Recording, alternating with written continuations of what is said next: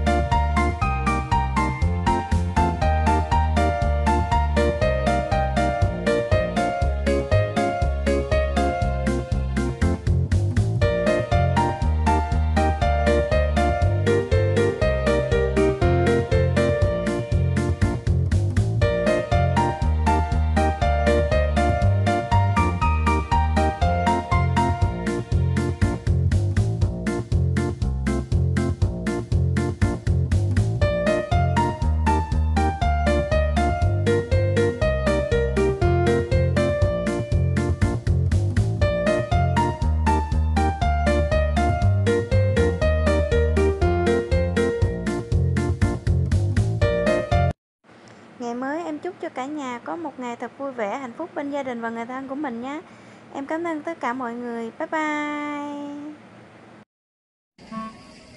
Vâng, xin chào cả nhà nha. Cả nhà ơi, hôm nay em chia sẻ cùng cả nhà cái sản phẩm mới đó là dầu gội dưỡng màu nha cả nhà. Thì cái dầu gội này là dành cho những anh chị nào mà cái tóc của mình đã có tông màu sẵn á, hay là những cái máy tóc tẩy á, mà mình không có dám nhợm nữa, mình sợ hỏng tóc á, thì mình có thể dùng cái sản phẩm này nha cả nhà.